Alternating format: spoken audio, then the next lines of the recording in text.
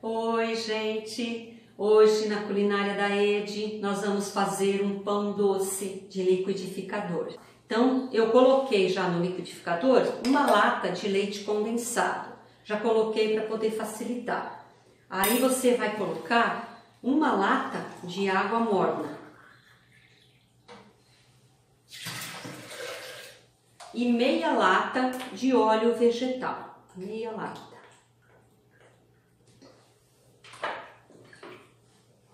Quatro ovos.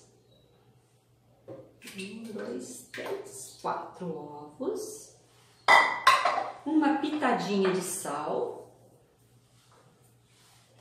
E você vai colocar três tabletinhos de fermento biológico fresco. Ou se você compra em barrinha, você vai colocar 45 gramas. Agora é só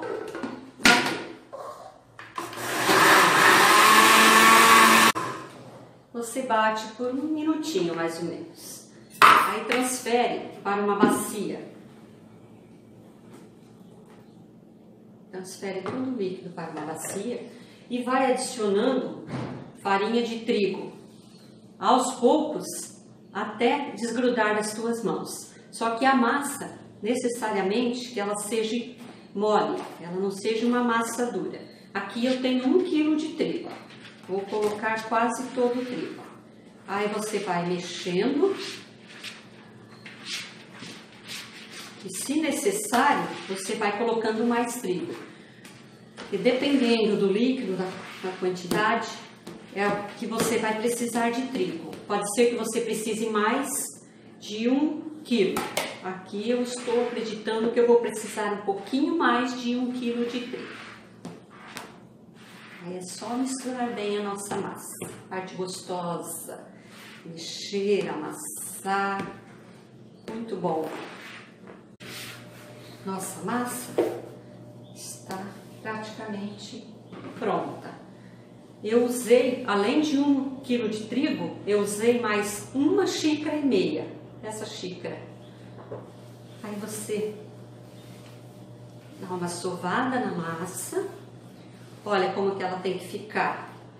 Ó, ela não tá mais grudando nas mãos, mas é uma massa mole, macia. Você vai levar ela agora para descansar até dobrar de volume.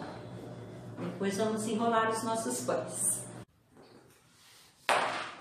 Olha a nossa massa.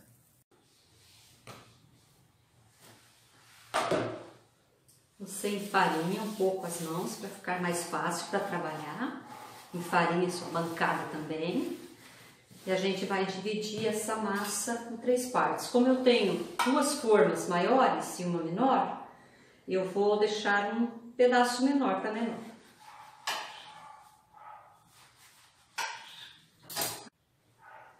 As massas estendidas, agora você vai enrolar, sem segredo, só enrolar. Essa massa é bem prática, você não precisa de cilindro e você não precisa do famoso pau de macarrão para ajeitar. Pronto, assim você faz com os outros pães.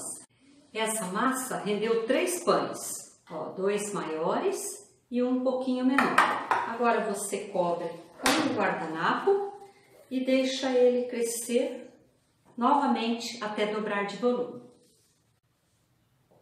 Olha os nossos pães crescidos. Agora você vai levar ao forno a 180 graus por mais ou menos uns 50 minutos, dependendo do teu forno. Olha os nossos pães. PMG. Por acaso. Vocês não têm noção do cheirinho que está nessa cozinha. Maravilhoso tá? Esses pães ficam hiper macios. Eu vou cortar um pão desses, quente ainda, para mostrar para vocês a textura da massa. Vamos passar uma manteiga e eu quero mostrar para vocês mais de perto a textura dessa massa. Olha como esse pão é macio. Se você gostou da receita, deixa um joinha lá e qualquer dúvida pode entrar em contato que eu esclareço para você. Até a próxima. Irresistível. Hum, muito bom. Aprovado.